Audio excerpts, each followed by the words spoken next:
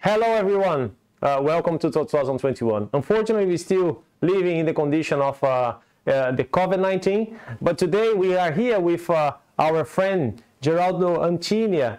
Uh, Geraldo, thank you very much for, for, for coming to our, uh, our talk. And it's a privilege to have a member of Chile representing Chile today the, for the very first time on our, our channel.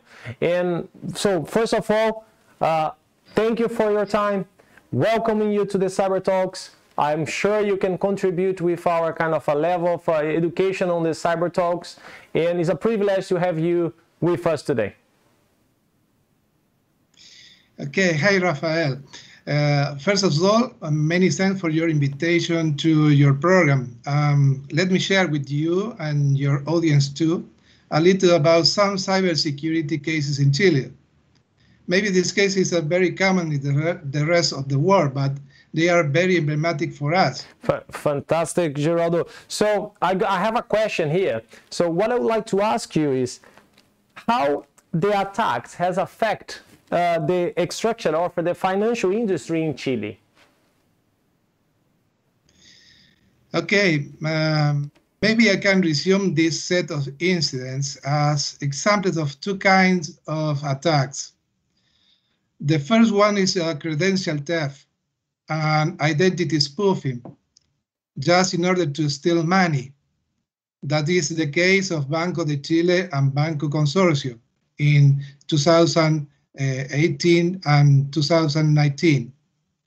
And the second one is the ransomware with persistence to steal uh, information and ask for ransom. That is the case of Banco Estado in 2020. In summary, we have uh, the case of three banks attacked in three years, in the last three, three years. The Banco de Chile was the first attack with theft of money that was known in the country. The controller entity that is the entity that regulates financial entities here in the market was immediately involved and the issue was even discussed at national government levels. The controller closely followed the entire process from the attack and took note to strengthen uh, its audit throughout the market. Also, the citizens criticized the financial industry for its lack of investment in security.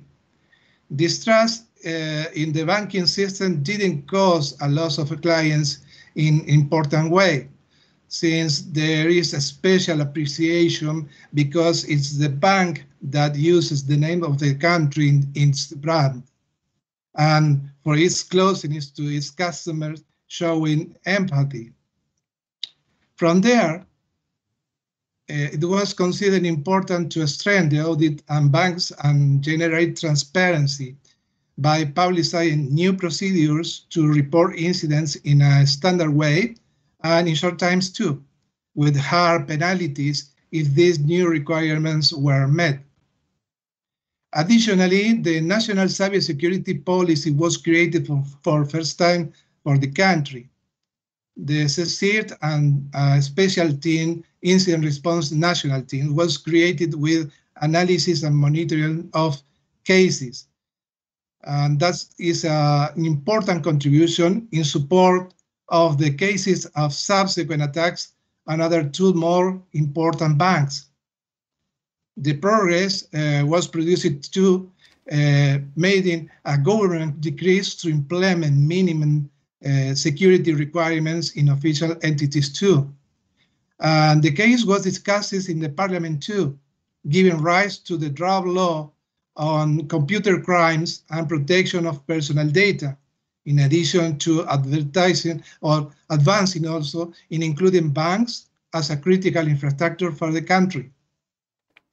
Because of that, banking industry began to invest more in security and IT, as well as awareness campaigns for its clients to regain confidence in the country financial system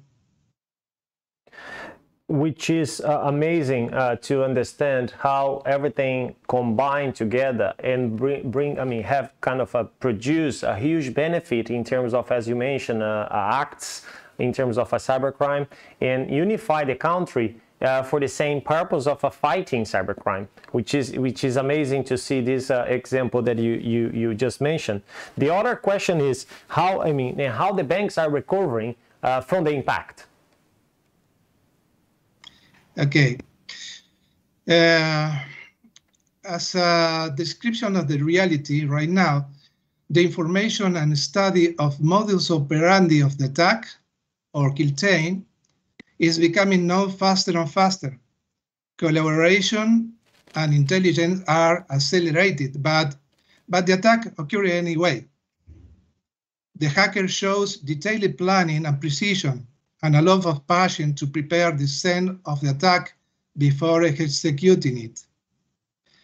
But my conclusion is that they are always reactive actions. There is not enough anticipation capacity. Therefore, it seems reasonable that we have to put more focus on our response capacity and show resilience, also strengthen the recovery phase, and with the lessons learned, improve controls and anticipation based on a true understanding of the risk and with that incorporated uh, to the board agenda, we can immediately translate this, this into a budget for cybersecurity.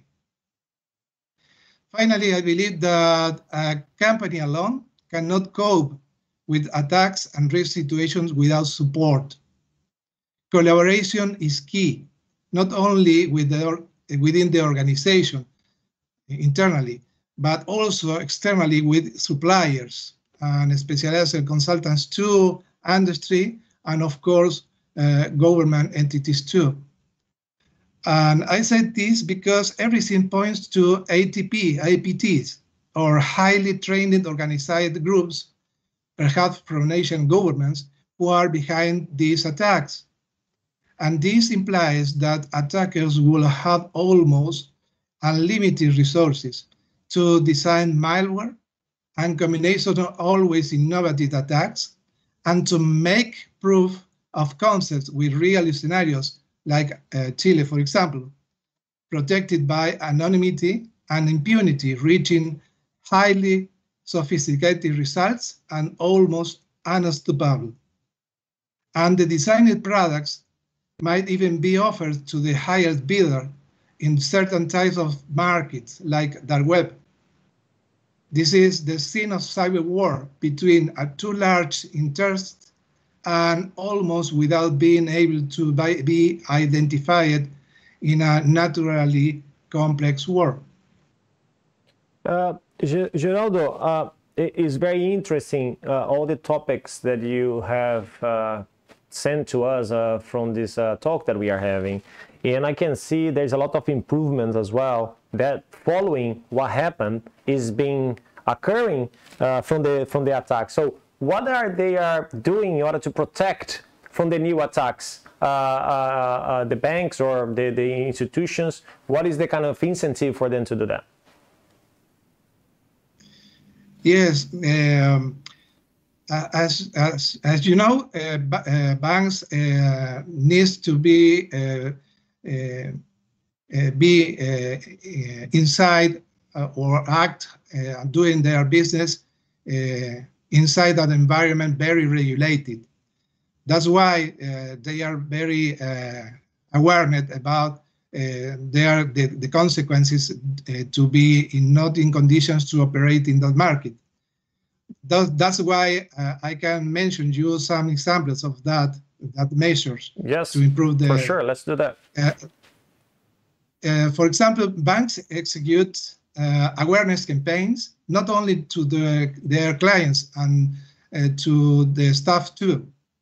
Um, they produce uh, a simplification of operational processes and a very close uh, uh, and exhaustive revision of uh, identity access management because of the stolen credential uses in the attacks that I mentioned before. Um, they produce an improvement of internal control model too by clearly defining the responsibilities of the three lines of defense, business owners, uh, risk management, and audit too, according to standards like COSO and Basel. They incorporated the, the CISO to the board of director too. That is an important point uh, in the in, at level of decisions. And the incorporation of main suppliers in audits in risk assessment too. Uh, we have a case where a main supplier was a, a, a factor to produce the attack. And more technical measures, the, they incorporate, are incorporating the threat intelligence uh, using the framework of OSINT and the creation of the CERT, as I mentioned before, as a special team at national level uh, to respond to incidents. Um, the creation of CISO communities and the incorporation of techniques, the red team and blue team internally at the companies. Um, they are using new products uh, with art artificial intelligence uh, just in order to uh, analyze the user behavior and uh, operational uh, process automation too using SOAR. Uh, regarding to the applications, they are incorporating DevSecOps and security by design uh, in the development cycle and the pipeline. Um, another example that is that this is more recently, um, they are incorporating the continuous assessment of indicators of compromise. That is a new tendency uh, using specialized, uh, specialized external services, uh, just in order to improve the vulnerability assessments. That, those are some examples of that.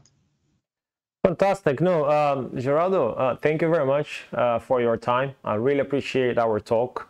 Uh, please feel free to suggest new friends from Chile to contribute with our cyber talks. Uh, I think we are open for those opportunities as well. And, you know, I think I'm really appreciate for your help today uh, uh, with the cyber talk.